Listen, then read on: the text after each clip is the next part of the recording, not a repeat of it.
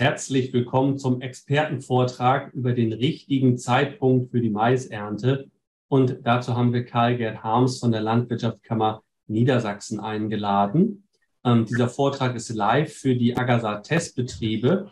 Und viele wissen gar nicht, wie groß Agasat mittlerweile ist. Die gehören nämlich mittlerweile zu den fünf größten Züchtern beziehungsweise Vertreibern in Deutschland und sind in den letzten Jahren stark gewachsen. Und das geht natürlich nur mit zufriedenen bzw. begeisterten Kunden. Größte Sorte ist ähm, Hulk, der gehört jetzt auch zu den meist angebauten Sorten in Deutschland. Auch die Sorte hat in den letzten zwei Jahren nochmal deutlich zugelegt. Und hier sieht man nochmal die Entwicklung im Zeitverlauf. Und das Schöne bei der Sorte war, egal ob es trocken oder nass war das Jahr, äh, die, die Sorte war gut und die Leute waren damit zufrieden und es wurde noch mehr davon verkauft. So, das soll es vorab von mir gewesen sein. Und damit begrüße ich den Karl-Gerd Harms von der Landwirtschaftskammer Niedersachsen und bedanke mich, dass Sie sich die Zeit nehmen, um uns noch mal ein bisschen Orientierung bezüglich des richtigen Erntezeitpunkts zu geben. Ja, herzlichen Dank, Herr Möller. Erntezeitpunkt, Bestimmung bei Silomais. Immer wieder ein spannendes Thema, in manchen Jahren ganz besonders. Und da gehört das Jahr 2022 ganz eindeutig mit dazu. Wann erntet man also den Silomais zum richtigen Punkt? Ja, immer wieder äh, spannend, den richtigen Zeitpunkt auch zu finden, denn es steht ja nicht dran, ich bin so und so reif, sondern man muss das schon mit ja, geübtem Auge und oder Mess Messwerten dann hinterlegen. Und in einem Jahr wie 2022, wo es so sehr trocken ist, reicht das aus. Das heißt, man tappt naja, vielleicht nicht vollkommen im Dunkeln, aber es ist auch um einiges schwieriger, wenn die Bestände eben nicht normal entwickelt sind. Damit möchte ich vielleicht einmal einsteigen, dass wir einen kleinen Überblick hier über Niedersachsen bekommen. Wie ist die Abreife? Wie weit sind wir? Stand letzte Woche, also Probenahme 16.08., exakt vor einer Woche. Sie können die Tabelle sehen. Und wir sehen dann hier, ähm, Standorte etwas weiter nördlich, nördlich von Zeven, hier der Standort Rockstedt. Ich hinterlege das mal kurz. Ähm, dort sehen wir also Gesamt-TS bei frühen Sorten 25, bei mittelfrühen 24 TS und im Kolben sind wir auch noch in den 20ern. Da hat sich in dieser Woche einiges getan. Ich habe die ersten Daten just von diesem Standort heute Abend ähm, telefonisch schon erfahren können. Da liegen wir also, naja, so beim Kolben jetzt bei 35 und drüber bei den frühen Sorten. Das heißt, da hat sich enorm was getan. Die Kolbenentwicklung ist normalerweise in der Größenordnung 5 pro Woche im TS-Gehalt. Ja, zu, zu erwarten in normalen Jahren, aber bei einer Witterung, wie wir sie derzeit haben, ist das schnell mal 1% pro Tag und mehr. Das heißt, wir liegen irgendwo zwischen 7 und 10 Prozent, die da passieren können. Mhm. Herr Kolm zeigt eigentlich immer sehr schön die tatsächliche physiologische Entwicklung an, ist relativ wenig von Trockenheit beeinflusst. Anders die Gesamtpflanze bzw. die Restpflanze, was sich dann im Wert der Gesamtpflanze aber ebenfalls widerspiegelt. Denn im Verhältnis zueinander sind auch hier schon die Werte 25 und 24 relativ hoch bei noch gar nicht so weit entwickeltem Kolben. Ähm, dazu vielleicht ein, eine andere Grafik, die viele sicherlich aus Niedersachsen kennen, die Maistraffung. Und wenn wir hier oben das Fenster für den Kolben gelb hinterlegt, ähm, das ist ab 55 Prozent. Ähm, das bedeutet, das Erntefenster für Silomais sollte beim Kolben TS von 55 bis 60 Prozent dann ähm, eingestellt sein. Das entspricht in der Gesamtpflanze bei normaler Entwicklung den bekannten 32 bis 35 Prozent ähm, TS-Gehalt. Der Kolben alleine macht äh, einen Trockenmasseanteil, also was äh, den Trockenmasseertrag angeht, von über 50 Prozent aus. Ähm, das heißt, der, die Restpflanze, die ist hier unten quasi irgendwo ähm, zu verorten, wenn man das mal in der Grafik sich darstellen will, äh, mit ein paar an 20 Prozent normalerweise und im Durchschnitt Restpflanze und Kolben ergibt sich dann dieser Bereich von 32 bis 35. Jetzt haben wir aktuell das Problem, kann man sagen, äh, wir haben Bestände, ich zeige mal ein Bild von einem gar nicht so stark geschädigten Maisbestand, aber wie man ihn häufig findet, die Blätter färben ab und man kann sich vorstellen, es hängen dort keine besonders Kolben an diesen Pflanzen. Ich ein bisschen durchs Bild, vielleicht kann man was erkennen. Ähm, und wir haben diese Kolbenanteile, die wir normalerweise sind, Mais gar nicht ähm, letztendlich auf der Fläche und innen drin. Das heißt, diese Schnittbildung wird nicht mehr, muss man sich vor Augen führen. Das Organ der Kolben fehlt oder fällt deutlich kleiner aus und das ist eben das, was auch den TS-Wert letztendlich anhebt ähm, im Siliergut. Das bedeutet in der Endkonsequenz, vielfach ist man geneigt, zwar den vertrocknenden Mais zu ernten, eine Notbeerntung zu machen, weil ja doch kaum Kolben dran ist und weil die Pflanze schon so, ja, angebrannt, sagt man ja so leicht äh, läufig, also leicht verbrannt, vertrocknet aussieht und gar nicht mehr viele grüne Blätter hat aber man läuft unheimlich Gefahr, obwohl es ein vertrocknender Bestand ist, dass aus der Silage nachher Sickersaft heraustritt. Und äh, das klingt ein bisschen paradox, aber wir haben hier tatsächlich eine Situation, wo wir unheimlich darauf achten müssen, wie trocken sind die Restpflanzen tatsächlich. Was man machen kann, ist eine Wringprobe. Das bedeutet, man geht an den äh, unteren Stängelabschnitt, grobe Richtung Stiefel- oder Kniehöhe und dort versucht man wirklich diesen Stängel fest anzufassen und auszubringen. Alle trockenen Blätter drumherum abreißen vorher und dann diesen äh, Stängel anfassen und gegeneinander verdrehen und gucken, was passiert. Als grobe Richtung kann man festhalten, wenn dort ähm, Saft raustropft, richtig raustropft, dann haben wir TS-Gehalte in der Restpflanze von deutlich unter 25 Prozent. Wenn da kein Kolben dran ist, dann kommt massiv Sickersaft. Wenn wir das Ding ausbringen und es schäumt so ein bisschen und wir sehen wohl ein bisschen Feuchtigkeit, ähm, aber es tropft uns nicht durch die Finger, dann liegen wir in der Größenordnung, ich sage mal plus minus zwei, das ist immer ein ganz grober Anhaltswert, um 25 Prozent. Auch dann müssen wir noch mit Sickersaft rechnen, wenn es ein kolbenloser Bestand ist. Und wenn wir den Stängel ausbringen und wir kriegen so annähernd nichts mehr raus. Erst dann bewegen wir uns in Richtung 28 Prozent, vielleicht 30 Prozent TS-Gehalt rein in der Restpflanze. Wenn wir wirklich von Beständen reden oder Teilflächen, an denen kein Kolben dran ist, dann kommt aus diesem wirklich nicht mehr schön aussehende Mais äh, immer noch Sickersaft raus. Auf der anderen Seite, ziviltechnisch bedingt, müssen wir diesen Bestand relativ fein häckseln, damit wir es überhaupt ordentlich verdichtet kriegen, mit eben diesen schon vertrockneten Anteilen da drin, ähm, was natürlich auch ein Sickersaftauftreten begünstigt.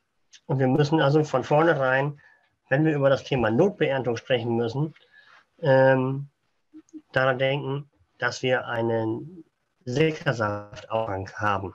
Idealerweise ist das gar nicht mal unbedingt äh, ein Abfluss auf der Siloplatte, wo es dann aufgefangen und in irgendeiner Weise entsorgt wird. Bei einer Biogasanlage geht das noch, da wird der Saft zumindest noch genutzt, weil er durch die Biogasanlage verwertet werden kann.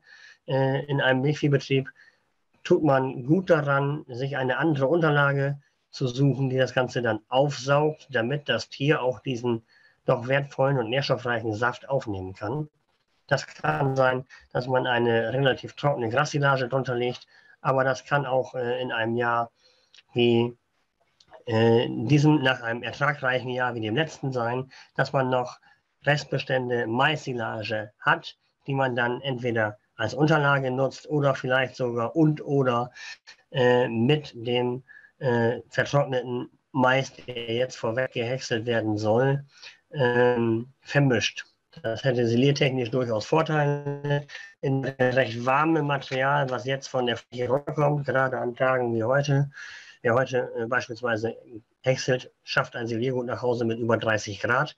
Das sind äh, nicht die idealen, idealen Silierbedingungen, wenn dieses Material vermischt wird mit alter Silage, die relativ kalt in einem Haufen liegt. Ähm, dann kriegen wir da schon mal bessere Silierbedingungen. Wir haben auch ein vorsiliertes äh, Material mit drin. Auch das hilft uns alles mit. Und nichtsdestotrotz sollte man sich trotzdem Gedanken um ein Siliermittel machen, insbesondere um die aerobe Stabilität nach dem Öffnen dieses Silostocks dann äh, weiter zu verbessern, um Nacherwärmung zu verhindern. Denn die Witterungsbedingungen und auch die Materialbedingungen, äh, die wir im Moment haben bei diesen ähm, Beständen und Teilflächen, sind besonders günstig in Anführungszeichen, äh, um Nacherwärmung zu erzeugen, wenn man diese Haufen öffnet. Wenn man das Ganze vermischt mit einer Silage, die schon oder noch auf dem Betrieb vorhanden ist, hat das den weiteren Vorteil, gerade im Milchviehbereich, man muss dann nicht irgendwann diesen vertrockneten Mais alleine füttern, sondern man hat ihn halt äh, in Mischung vorliegen mit einem qualitativ hochwertigen Mais, sodass man äh, keine so abrupte Futterumstellung hat auf der einen Seite und natürlich bessere Inhaltsstoffe, als wenn man nur diesen Mais füttern müsste. Das vielleicht so als kleiner Hinweis vorweg oder zu diesem Thema.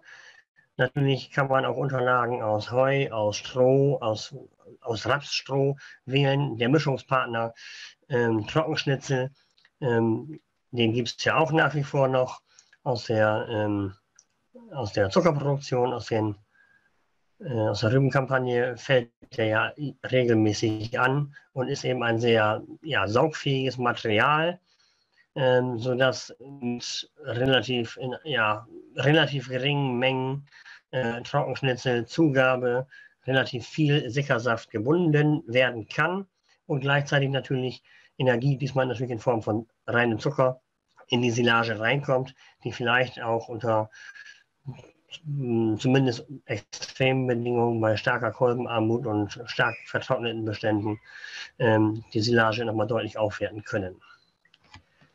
Das vielleicht so als kleiner Exkurs erstmal vorweg. Was wir mit den vertrockneten Beständen, ich denke, das ist sicherlich eine Frage, die ähm, doch vielen, ja, unter den Nägeln brennt, kann man, denke ich, ruhig so sagen.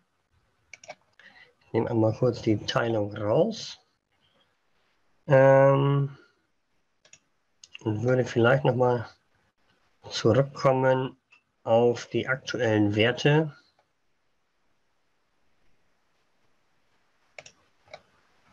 Die haben wir hier.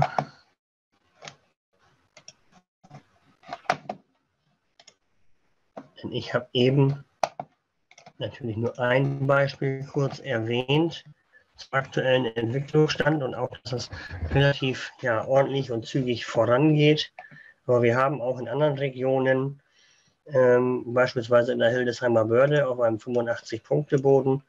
Ähm, deutliche Reife, aber auch Trockenerscheinungen. Wir haben also hier die frühen Sorten schon letzte Woche bei 32,5 Prozent TS-Gehalt gehabt. Die werden also Stand heute über 35 erreicht haben. Ähm, wir sind mit dem Kolben hier ähm, im Schnitt der beiden Sorten, die hier getestet worden sind, bei 47,6. Das heißt, die eine war bei 49 und die ist jetzt mit Sicherheit über 55 schon weg. Äh, und im Ende der Woche sind frühe Sorten, die, und das ist jetzt wichtig, äh, zu Beginn der letzten Dekade im April schon gesät worden sind, also die pünktlich gesät worden sind, die sind tatsächlich soweit. Ist ein Standort, der hat nicht zu viel Wasser bekommen, der ist aber auch nicht vollkommen vertrocknet. Ähm, das sehen wir ganz ähnlich hier am Standort Werlte im Emsland, 35 Punkte Eschboden. Da kam auch noch mal der eine oder andere Schauer vorbei, ist auch äh, ähnlich früh gesät worden. Und auch hier haben wir schon so hohe Gehalte gehabt. Der ist etwa eine Woche zurück. Das ist so der Standort, das ist ganz normal. Der Standort liegt weiter nördlich und äh, die Reifeverzögerung, das passt äh, sehr gut zusammen ähm, im Verhältnis zum Standort Hamburg. Aber auch hier sehen wir schon erstaunlich hohe Werte und auch da sind Bestände, die in der kommenden Woche ähm, voraussichtlich schon erntereif werden, denn hier steht ein Kolben-TS von 43 im Schnitt bei den Frühen. Das heißt, da sind wir heute auch schon bei über 50. Geregnet hat es dort auch so gut wie nicht. Ähm, wie leider an sehr vielen Standorten, wo mal ein bisschen Regen vorbeikam. aber eben nicht das, was uns die Bestände nochmal durchgrünen und richtig äh, erholen lässt. Das haben wir ja vereinzelt gehabt. Klar, gab Orte mit 30 Litern, gab auch Orte mit sinnflutartigen Regenfällen und über. Aber viele, viele Ortschaften haben vielleicht die Straße nass bekommen, manchmal nicht mal das. Ähm, zu dem Punkt müssten wir eigentlich noch eine ergänzen. Ähm, wer sich aktuell dazu entscheidet, den Mais, der auf den leichten Böden steht und so gar nicht mehr gut aussieht, vorzeitig zu ernten, ernten, bevor die Haupternte beginnt und hat dort kolbenlosen Mais stehen. Ähm, wenn diese Bestände nochmal einen kleinen Regenschauer bekommen, kurz vor der geplanten Ernte, sollte man im Kopf haben, dass in der Regel auch leichte Niederschlagsereignisse mit um die 5 Liter pro Quadratmeter schon dazu führen, dass sich dieser Stängel unheimlich wieder vollsaugt. Das heißt, das äh, Sickersaftproblem, das Aufkommen, sticht nach solchen Ereignissen unerwartet stark an. Sollte man darauf vorbereiten, entweder muss man dann nochmal wieder zwei, drei Tage warten, ähm, bis die quasi wieder durchgetrocknet sind ähm, oder eben entsprechend für ähm, saugendes Material sorgen, sodass dieser Sickersaft dann auch aufgefangen wird, in welcher Weise auch immer. Das vielleicht nochmal als kleiner Exkurs. Ansonsten, ja, wir schreiben den 23. August, nicht September, und dafür sind diese Werte, die wir hier sehen, die sind ja schon eine Woche alt, äh, sehr hoch. Das heißt, wir reden über Werte, die noch höher sind als die, die uns hier angezeigt werden.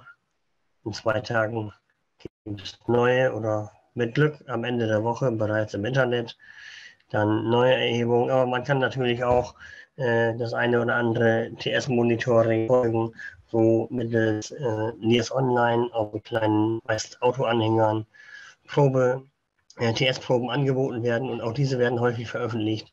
Und auch dort sieht man Land auf Land ab, dass die Bestände sehr weit sind. Heißt, uns steht eine sehr frühe Ernte bevor.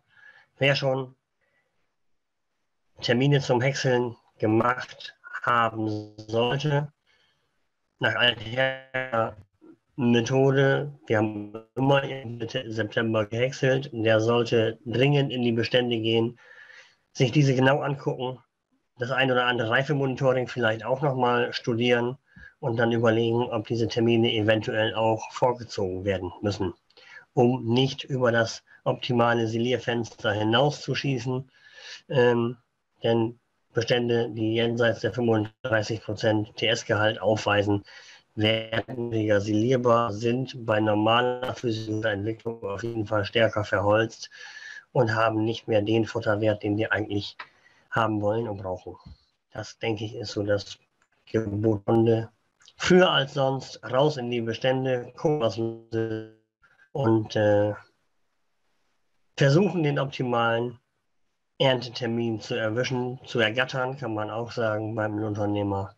Insgesamt zeichnet sich ab, der Bauernverband hat es heute kundgetan, dass er etwas schmaler ausfallen wird. Das auf jeden Fall auf den Sandböden. Das gilt zum Teil auch auf den Sperrstandorten, ich sage mal in Südniedersachsen aber auch auf anderen typischen Ackerstandorten, beispielsweise in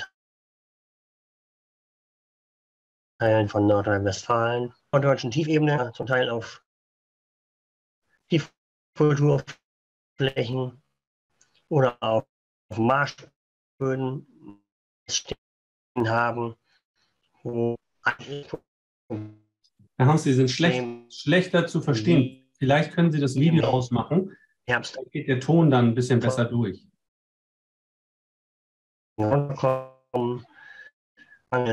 Befahrbarkeit. Diese Standorte haben in diesem Jahr in der Regel sehr gute Maisbestände, ähm, weil Wasser dort kein. Jetzt kann man mich jetzt besser hören? Ja. Also wie gesagt, in eher feuchten Standorten, die in anderen Jahren leicht mal Probleme machen, erwarten wir in diesem Jahr sehr Maiserträge. Allerdings ist das natürlich nicht die Mehrheit der Flächen, über die man hier spricht. Das soll es von meiner Seite in einem ersten Aufriss gewesen sein. Ich bedanke mich für die Aufmerksamkeit. Wenn Fragen sind, Diskussion da gerne nur zu. Herzlichen Super. Dank.